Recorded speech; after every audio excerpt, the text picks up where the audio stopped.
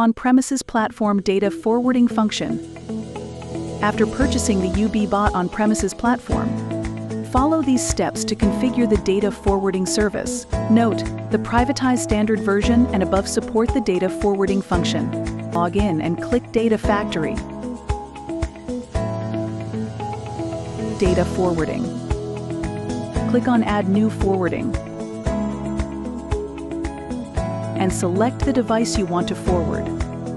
Enter the device information, including the server URL you wish to forward to.